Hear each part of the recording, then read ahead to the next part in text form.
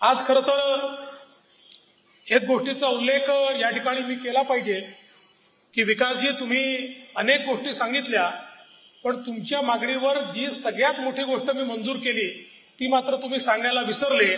आणि ती म्हणजे मेयो हॉस्पिटल करता साडेतीनशे कोटी रुपये आपण या ठिकाणी यावर्षी मंजूर केले आहेत.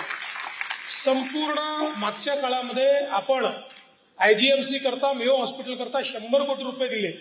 त्याची नवीन बिल्डिंग आपण उभी केली. पण काम अपूर्ण होतं. कारण क्लिनिकल ब्लॉक झाला सर्जिकल ब्लॉक झाला नव्हता. आजही आपल्या इथे मॉड्युलर ओटी नाही आहे आजही आपल्याकडे स्टेट ऑफ आर्ट अशा प्रकारची व्यवस्था त्या ठिकाणी नाही आहे आणि म्हणून यावेळेस आपण ठरवलं की मेयो आणि मेडिकल या दोन्हीमध्ये आता मेडिकलही ज्यावेळी तयार झालं त्यावेळेस एशियातलं सगळ्यात मोठं हॉस्पिटल होतं. शंभर शंभर वर्ष पन्नास पन्नास वर्ष या हॉस्पिटलचं पूर्ण होत आहे.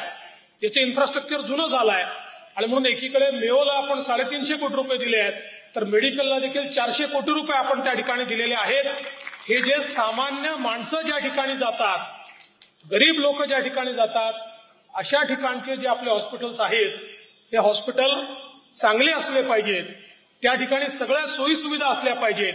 त्या ठिकाणी आता कुठल्याही प्रायव्हेट हॉस्पिटलला लाजवेल यापेक्षा चांगले मॉड्युलर ऑपरेशन थिएटर्स आपण तयार करतोय.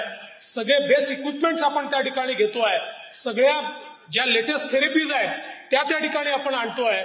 आणि त्यातनं विशेषतः मध्य नागपूरच्या भागातल्या लोकांकरता एक मोठी सोय या मेयो हॉस्पिटलच्या माध्यमातून या ठिकाणी आपल्याला पाहायला मिळणार आहे.